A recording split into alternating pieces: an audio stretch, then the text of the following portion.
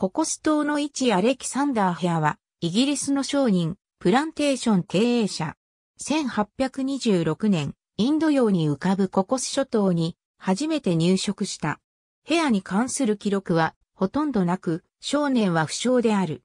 ロンドンの時計細工師の長男で、少なくとも3人の弟がいた。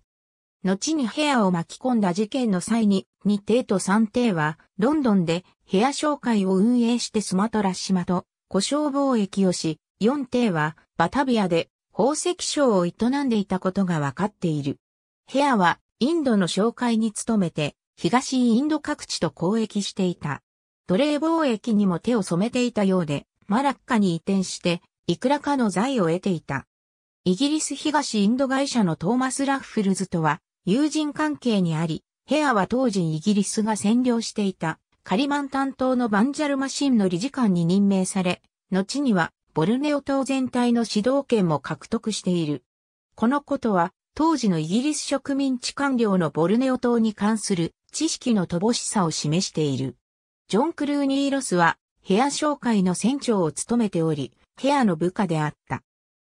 ヘアはロスに無人島の探索を命じ、ロスはココス諸島を報告した。1826年、ヘアはココス諸島に移住した。この時、多くの女性たちも連れて行っている。ヘアはココス島でココヤシのプランテーションを経営した。ココヤシ栽培労働力としてマレー人の奴隷を連れている。その後島にはロスが部下を連れてやってきた。しかし、プランテーションの場所などをめぐって、ヘアとロスの関係は次第に険悪になり、やがて敵対するようになった。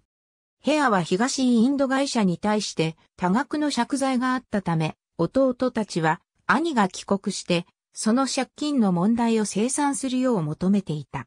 ロスはヘア紹介に手紙を書き、部屋の奴隷が奴隷商人の手を経ていること、これが続けば、関係の注目するところとなるだろうと知らせている。1834年10月3日、部屋は自分の高級を置き去りにし、たった一人でココス諸島を離れた。部屋はロスによって追い出された印象が強い。その後部屋はスマトラ島へ渡り、ジャワ島で1834年に死去した。ありがとうございます。